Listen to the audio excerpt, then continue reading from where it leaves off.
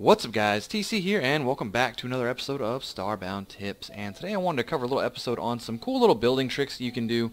Um, these are kind of allow you to do some, some unique little, I don't know, just kind of weird things that you can't normally do in the game. So I figured I'd show them off. They're nothing too crazy but first things first involves these composite rail platforms. So these are these little things right here, composite rail. And so these are what you throw your platform, uh, little thing you ride around uh, and it rides on these rails. And they don't have a hitbox, like you can't stand on them or anything, but they have some really unique attributes. So we'll take this chest here.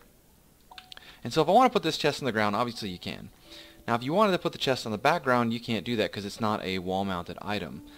Uh, so there's really no way to do that other than to put it on top of a platform. Now what's cool is that you can put this chest on this rail. So like you can't stand on it, but the chest can. So uh, it's kind of a cool way to put things like, out of reach or to make things kind of float in a way. Uh, you can do other stuff like uh, I like to put my uh, my little pet tethers up on these things. Maybe if it's for like a um, like I want my pet to be on the ground, but I want I don't want the, the, pet tether to be in the picture. Sometimes I'll put the pet tether up in the air, so they'll kind of drop down and they'll hover down. They'll stay around below it, but at least the pet tether won't be visible. Um, another cool thing you can do is you can like you know these things can support doors, obviously. Uh, now what's interesting is that doors have hitboxes as long as they're on. So you can uh, basically pretty much make a floor that will, like if you were to make a bunch of these, you could do stuff like this and have like a floor that just completely disappears. There you go. So yeah, kind of some fun stuff you can do. Um, nothing too wild, although it does look kind of cool, I'll be honest. Um, but anyways, moving on. So this next little bit we have is involving invisible blocks. So the invisible blocks, uh, there's a couple different options in the game. The first one you have here is matter block. Uh, so these things here, you can place it like that, and you'll see it's physical, like you can see that, but when you paint it any color, it will become invisible.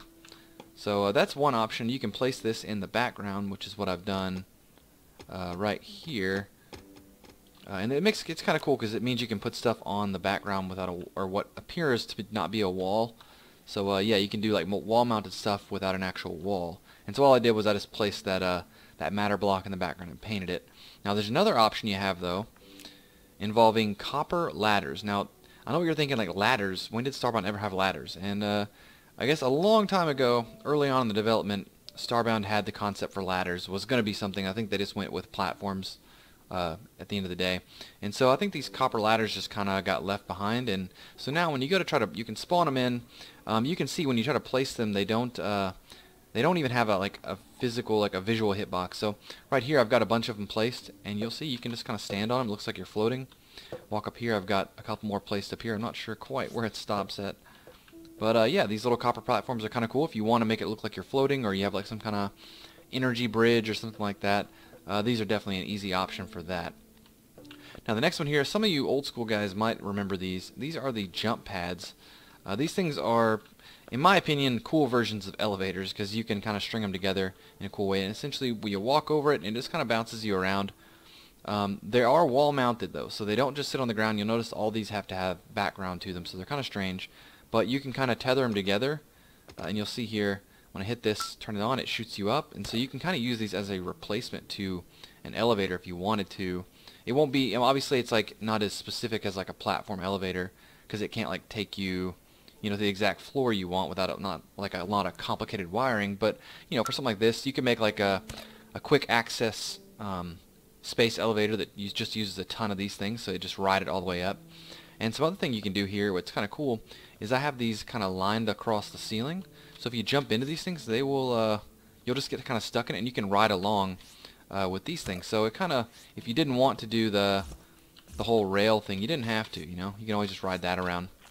Um, it's something kind of fun. It also works with items. I'm not sure if I can get one in there, but uh, um, that's probably not a good block to throw. Let's try it. There it is. You'll see the block kind of flies along and also it gets shot up. So yeah, it's effective on players, objects, entities, pretty much anything in the game. So it can be kind of fun. Well, we're going to speed time up just a little bit. There we go. So moving on, this last little bit to kind of wrap things up, I just wanted to kind of point out that uh, there's so many blocks in this game. Uh, and I see so many people using just the same old blocks over and over again. And to definitely like consult the wiki because there's so many options and people are never taking advantage of it. Uh, it just it's there's just so many options. So like I just want to show off a few of the ones that I pretty much never see people play with. So we have one here. This looks like a very very like basically looks like guts, kind of like ground up meat.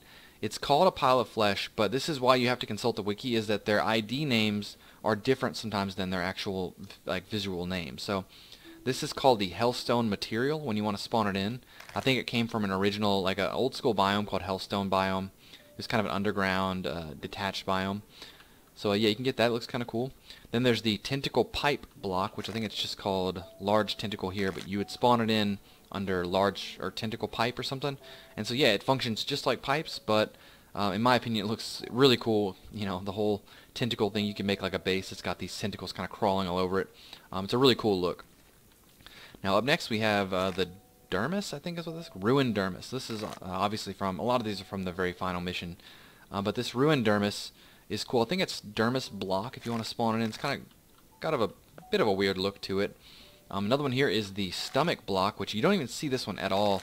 I think this, I think the original mission or the original end game mission was supposed to be like you go through like the different parts of the ruin, and so like I think the stomach was like one part of it you would travel through, um, and so I, I, think they just kind of abandoned that idea, but they left the block there. So uh, yeah, it's kind of a cool looking, weird, nasty looking block. Up next we have these coconut blocks. So you'll see here, uh, coconut block. I think it just, I think that's also its spawn name. Um, I'm not sure. Maybe this was like supposed to be a crafting material for coconut blocks. Once again, let me jump ahead just a little bit here. There we go. So these uh, coconut blocks, pretty cool. They have a really unique feature, and the way they paint is kind of cool. So like when you paint these things, they uh, it just paints that part. So you can make like some crazy looking patterns there with that stuff there. Kind of a cool feature. Definitely always try to paint these blocks and see what all um, color schemes is, because some of them don't always paint the way you would think they would. It's like, for instance, these coconut blocks don't paint the way you'd expect. Another one here is the spider silk block. So this one here, I think this was supposed to be in the uh, the Floran mission and ended up getting scrapped. Um, but yeah, it's just spider silk. I'm not sure what all uses this would have. Maybe if you're making like some kind of bug-themed base or something, or insect-themed, this might go with it. Another one here is the cloud block. This is one of my favorites because I, I, I used to really love building like sky bases and stuff like that in Minecraft, and so it's kind of like a way for me to build my little sky bases here, little clouds, and build my base on top of it. Uh, this one here is from the first mission. Uh, this is called, I think it's called Super Matter when you spawn it in, but its display name is Erchius Crystal. And this stuff's kind of cool because it does glow, so once again we are going to jump ahead, and so you'll see there it's uh, got this purplish glow. There we go. Get it a little bit brighter. Um, but this is kind of a cool block because the way it angles, I think that's kind of a unique feature there. It's got these like you see the, the hard angles like that. It's kind of cool. And the last one here is the candy block. And so this used to be a, uh, seasonal thing. Like, uh, I'm not sure. I think it was like Christmas related. You would, I think when you killed monsters during like Christmas time, it would drop like a special drop and it would allow you to craft um, Christmas themed stuff. And this candy block was one of those things. And I think there was a time where it was craftable by sugar too, but I don't think you can make it anymore. But uh, yeah, if you wanted to make like a candy-themed world, I thought it'd be, be kind of cool. There's a bunch of candy-themed objects if you didn't know. Um, but again, you can find those on the wiki. But anyways, that's going to wrap up today's episode. I just wanted to do a, a general purpose tips episode on building and stuff like that. I feel like it's been a while since we went, went back to our roots onto some general purpose building. But anyways, that's going to wrap up today's episode. Hope you guys enjoyed it. Please rate, like, comment, subscribe, and I'll talk to y'all later.